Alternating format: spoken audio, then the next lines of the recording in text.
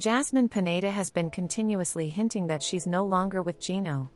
Since the start of the new year, she's been leaving many cryptic messages about the split, using her Instagram stories and during her live streams. The crazy Panamanian was exposed by members of her close circle and her former neighbor in Michigan for lying and hiding her real relationship status.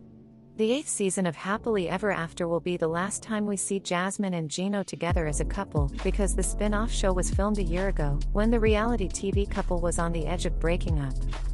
In one of her recent Instagram stories, Jasmine went straight and revealed why she broke up with Gino. Despite her not mentioning her former husband's name in the story video, it was clear that Jasmine was throwing shade at her ex husband while revealing why she left him.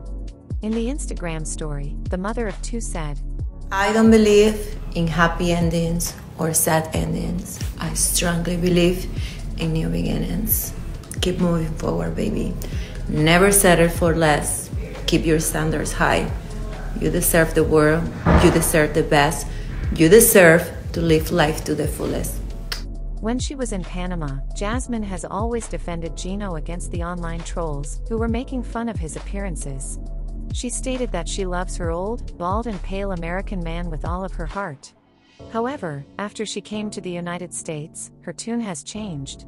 Nowadays, the 38 year old is all about self love and know your worth type of mentality. Jasmine stated in her recent Instagram story that she doesn't believe in happy or sad endings, while implying that she won't settle for less anymore. Add to that, the reality TV star added another hint to show her fans that she's no longer with Gino.